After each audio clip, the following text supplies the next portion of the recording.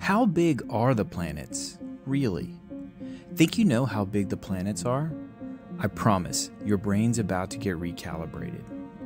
If Earth was a tiny marble in your hand, Jupiter would be a full size basketball, and still not even close to its real scale.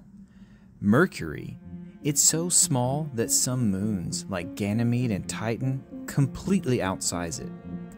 Saturn is such a giant, you could pack 760 Earths inside its volume, and it would still have room to spare. And here's the plot twist most people don't even know.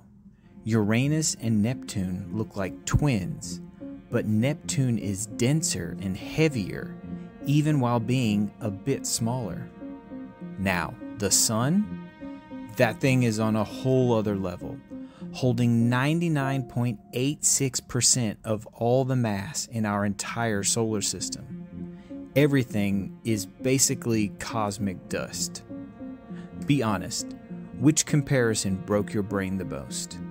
Tell me in the comments so I can feature your pick in a full episode.